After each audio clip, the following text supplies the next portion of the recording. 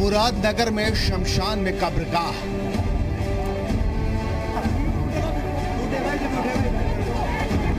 मौत की छत ने मार डाला।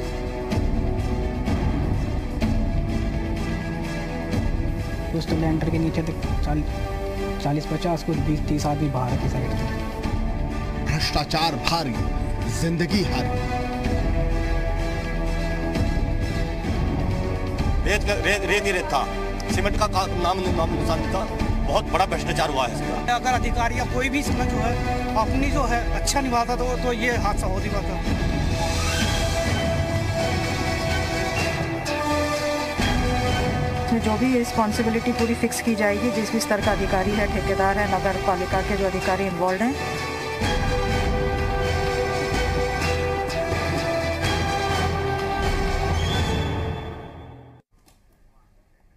जी हाँ, भ्रष्टाचार भारी, ज़िंदगी हारी। हम बात कर रहे हैं मुरादनगर हादसे की, जिसमें अब तक मरने वालों की संख्या 24 हो चुकी है। मामले के चार आरोपियों में से तीन को पुलिस ने गिरफ़्तार भी कर लिया है। दरअसल कल मुरादनगर के गाँव में अंतिम संस्कार करने गए लोगों के ऊपर लेंटर गिरने से यह दर्दनाक हादसा हुआ। हादसे में कई लोग गंभीर रूप से जख्मी हुए। इस लेंटर गिरने से यह दर्दनाक हादसा हुआ। हादसे में कई लोग गंभीर रूप से जख्मी हुए। इस हादसे के पीछे लापरवाही को वजह मानते हुए नगर पालिका EO Niharika Singh, junior engineer, supervisor और निर्माण करने वाले ठेकेदार अजय त्यागी के खिलाफ गैर इरादतन हत्या का केस दर्ज किया गया। वहीं पुलिस ने तीन आरोपियों, निहारिका सिंह, चंद्रपाल, आशीष को गिरफ़्तार भी कर लिया है। हालाँकि अभी भी आरोपी ठेकेदार अजय त्यागी फरार है।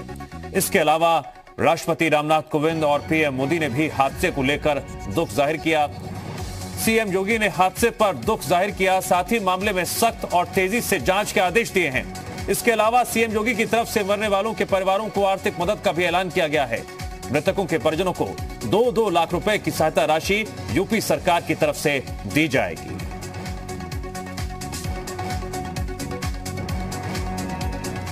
भ्रष्टाचार भारी, ज़िंदगी हारी और अब होगी कार्रवाई। गिरफ्तारियों का सिलसिला शुरू हो गया है। एक आरोपी ठेकेदार अजय त्यागी अभी भी फरार, बताया जा रहा है, मुरादनगर हादसे में 24 लोगों की मौत के बाद जाँच में और आई तेज़ी। पुलिस ने अब तक तीन आरोपियों को गिरफ़्तार कर लिया है। ईओ निहारिका, जेई भी गिरफ़्तार कर लिया गया है। किस किस की हुई है गिरफ्तारी? तस्वीरों में देख लीजिए उन चेहरों को। नगर पालिका ईओ निहारिका सिंह की गिरफ्तारी हुई है। जूनियर इंजीनियर चंद्रपाल की भी गिरफ्तारी हो चुकी है। तो कुल मिलाकर अब तक तीन गिरफ्तारियाँ हुई हैं। दो गिरफ्तारियों के बाद अब बात करें तीसरे चेहरे की। वो भी हम आपको दिखाएँगे, बताएँगे। अभी फ़िलहाल ठेकेदार की गिरफ्तारी नहीं हो पाई है, जिसको लेकर पुलिस की टीम जगह जगह दबिश दे रही है। तीसरे आरोपी सुपरवाइजर आशीष को भी गिरफ़्तार कर लिया गया है। ठेकेदार अजय त्यागी इस घटना का चौथा आरोपी फ़िलहाल फरार चल रहा है।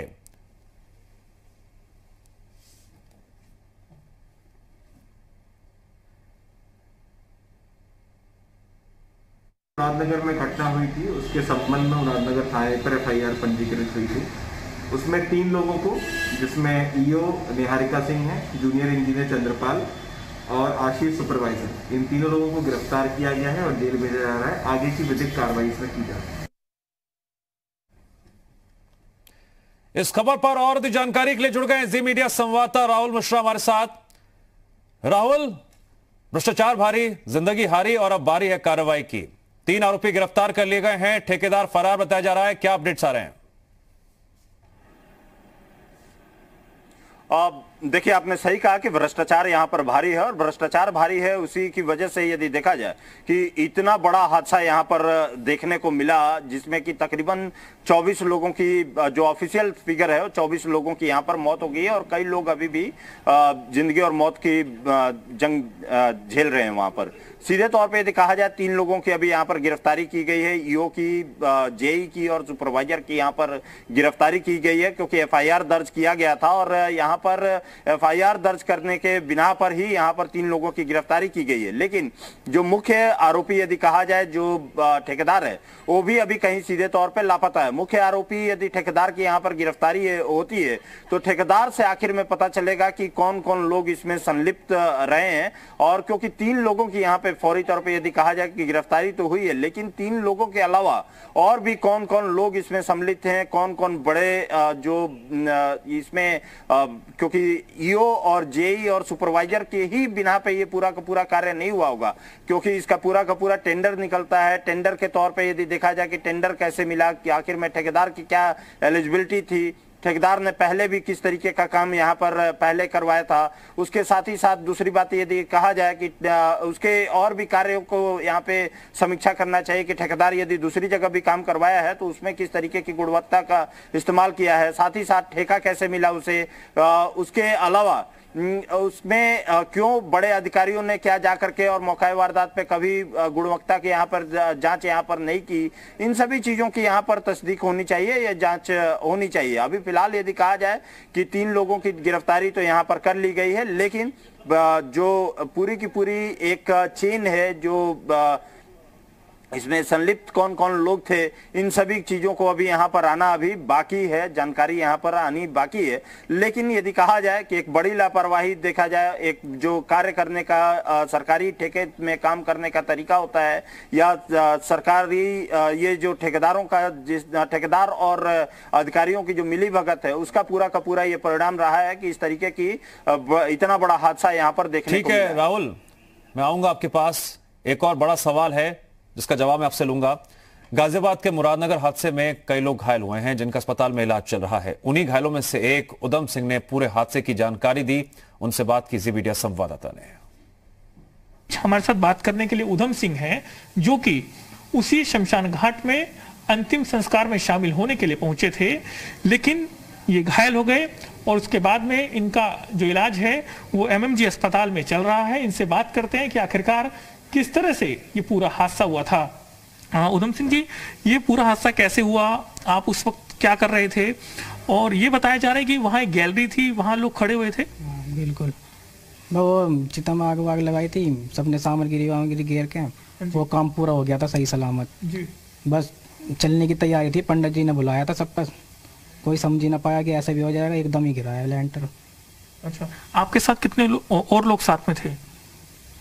कुछ तो लेंटर के नीचे थे चालीस चालीस पचास कुछ बीस तीस आदमी बाहर की साइड हाँ कब तक रहे वहाँ पर? वहाँ पर आप कब तक फंसे रहे? आपके जो साथ में लोग आए थे क्योंकि जिस तरीके से वीडियो हम देख रहे हैं पूरा जो एक लेंटर है वो आकर नीचे गिर जाता है। काफ़ी लोग उसके नीचे दबे हुए थे। हाँ मैं थोड़ा साइड में था बस मेरी गर्दन ही बाहर निकल रही थी और बाकी सब दब रहा था। भी होंगे। तो ये कब बन के तैयार हुआ था? इस बार इसके बारे में कोई जानकारी है? इसकी जानकारी नहीं है मेरे वहाँ कई दिन से तो बना बना पड़ा था वो। और सरकार की तरफ़ से सरकार को कुछ कहना है आपको हमारे ज़रिए? मैं सरकार से क्या उस पर एक्शन ले भाई? ये हो क्या हुआ कैसे? इतना बड़ा वो लेंटर गिरा ऐसे कैसे गिरा? कैमरामैन नवीन के साथ नीरज कुमार गौड़ जी मीडिया गाजियाबाद। तो आपने सुना है घायल दर्द बया कर रहा है और उस वक्त जो ये भीषण हादसा हुआ उसका चश्मदीद भी है। ऐसे में वो ये सवाल कर रहा है कि इस हादसे के लिए कौन कौन जिम्मेदार है? इसमें जाँच होनी चाहिए। तीन आरोपी अब तक गिरफ़्तार किए जा चुके हैं तो वहीं आरोपी ठेकेदार अभी भी फरार है। लेकिन बड़ा सवाल है कि जो सरकारी ठेकों का काम होता है, उसमें मलाई खाने वाले कितने लोग होते हैं और भ्रष्टाचार की जड़ें किस हद तक मज़बूत हैं? राहुल मिश्रा लगातार बने हमारे साथ। राहुल, इस हादसे के सामने आने के बाद अब यह सवाल सामने आएगा कि सरकारी ठेकों में जिस तरह से मलाई खाने का काम किया जाता है, भ्रष्टाचार को अंजाम दिया जाता है अब उस पर लगाम लगाने का वक्त आ गया है। जल्द ही इस पर भी कोई फैसला लिया जा सकता है। सही कह रहे हैं आप। सीधे तौर पे जल्दी इसके ऊपर फैसला लेना चाहिए क्योंकि ये कोई आ, पहली घटना नहीं है मुरादनगर में। या कई एक जगहों पे इस तरीके के हादसे देखने को मिले हैं। और इसमें सीधे तौर पे सरकारी तंत्र में ए टू जेड ऊपर से लेकर के और नीचे तक लोगों की संलिप्तता होती है और यही कारण है कि उस संलिप्तता की वजह से ही इस तरीके का निर्माण कार्य यहाँ पर किया जाता है, निर्माण कार्य होता है। और यहाँ आखिर में क्योंकि तीन लोगों की यहाँ पे फ़िलहाल तो यदि कहा जाए कि फौरी तौर पे, क्योंकि प्रथम दृष्टया देखा जाए तो इन लोगों की देखरेख में यहाँ पर कार्य होता है। लेकिन क्या यही लोग संलिप्त थे? ये एक बड़ा सवाल है, क्योंकि इसमें और भी लोग, जो बड़े लोग हैं, जो कि इसमें संलिप्त रहते हैं तमाम जो कहा जाए कि सरकारी बाबू बड़े बड़े जो अधिकारी इसमें उनकी क्या रोल है? इन सभी चीज़ों को यहाँ पे जाँच करना ज़रूरी है, और अब ऐसा समय ज़रूर आ चुका है कि अब इसमें सीधे तौर पर लगाम लगाया जाए। गुणवत्ता किस तरीके से, किस तरीके का मटेरियल वहाँ पे प्रयोग किया जाता है, इन सभी चीज़ों की जाँच करना यहाँ सबसे ज़्यादा ज़रूरी है और इसमें वो चीज़ें इन सभी पॉइंट्स को देखना ज़रूरी होता है कि आखिर में कौन कौन लोग इसमें संलिप्त हैं और बड़े अधिकारी आखिर? करके और साइट पे क्यों राहुल? करते हैं जब भी यदि इस घटना के मद्देनजर तो ये भी कहा जाता है कि सब कुछ लगता है कि फाइलों में कर दिया जाता है। कागजों में किया फिर इतिश्री कर ली अपनी ज़िम्मेदारी से मॉनिटरिंग करने वाला कोई नहीं है। जो जो प्रमुख नाम सामने आ रहे हैं मुख्य आरोपी के तौर पर उनके कंधों पर बड़ी ज़िम्मेदारी होती है। मॉनिटरिंग नहीं की होगी। सब कुछ कागजों में सिमट के रह गया होगा। बस जोड़ तोड़ और जुगाड़ तंत्र। ज़रूर सही सीधे तौर पे यदि कहा जाए कि आप सुपरवाइजर को हटाते हैं जेई को हटाते हैं ईओ को हटाते हैं। लेकिन आखिर में उन लोगों का क्या जो उनकी की यहाँ पर ज़िम्मेदारी होती है कि इनके ऊपर क्रॉस चेक यहाँ पर किया जाए कि आखिर में अ, क्या वहाँ पे सामान बन रहा है क्या किस तरीके का वहाँ पे प्रयोग मटेरियल्स का वहाँ पे किया गया है क्या गुणवत्ता जो मानक है उस मानक के अनुरूप वहाँ पे प्रयोग किया गया है कि नहीं किया गया है इन सभी चीज़ों की है। देखना ये होगा कि आखिर में जो बड़े अधिकारी हैं उनके ऊपर किस कब यहाँ पर गाज यहाँ गिरती है, क्योंकि उन लोगों की भी संलिप्तता यहाँ पर है और सही कर रहे हैं कि आप फाइलों तक ही पूरी की पूरी गुणवत्ता जो है, वो रहती है। एक आपको डिस्क्लेमर ज़रूर दे दिया जाता है कि आपको इस तरीके से यहाँ पर काम करना है और इन सभी गुणवत्ता के साथ में आपको काम करना होता है। लेकिन जमीनी हकीकत पर यदि देखा जाए तो उसके ठीक इतर इस तरीके का वहाँ पे मानक को धत्ता बताते हुए वहाँ पर काम कराया जाता है जिसके फलस्वरूप यदि देखा जाए तो मुरादनगर जैसी घटनाएँ यहाँ पे घटित होती हैं जिसमें कि खराब बिल्डिंग मटेरियल का यहाँ पे यूज़ किया जाता है। इसमें सबसे बड़ी चीज़ होती है कि सीमेंट की चोरी की जाती है उसके साथ है। साथ में जो आपकी छड़ें होती हैं जो लोहे की सरिया होती हैं इन सभी की कहीं सीधे तौर पर राहुल उम्मीद की जानी चाहिए कि जी उत्तर प्रदेश उत्तराखंड इस हादसे के मद्देनजर जो सवाल सामने रख रहा है उसके मद्देनजर जल्द ही कोई बड़े फैसले जल्द से जल्द लिए जाएँ। बने रहिए हमारे साथ। अगर हम सरकार की बात करें तो गाजियाबाद हादसे को लेकर सीएम योगी ने संज्ञान लिया। उन्होंने हादसे पर दुख जताते हुए मृतकों के परिजनों को दो दो लाख मुआवजे का ऐलान किया। साथ ही मुख्यमंत्री ने अधिकारियों को घटना के संबंध में रिपोर्ट सौंपने के निर्देश भी दिए हैं। इस पूरे प्रकरण में मंडलायुक्त मेरठ और आईजी रेंज मेरठ को मौके पे जाकर इस पूरी घटना की रिपोर्ट देने के लिए मैंने पहले ही आदेश कर दिया है, जिससे इस दुखद घटना के पीछे के कारणों को जाना जा सके और इसमें जिम्मेदारों की जवाबदेही भी सुनिश्चित की जा सके। और राज्य सरकार सभी पीड़ित परिवारों के साथ, पूरी मजबूती के साथ खड़ी है। हर संभव सहायता उन पीड़ित परिवार वालों को राज्य सरकार करेगी?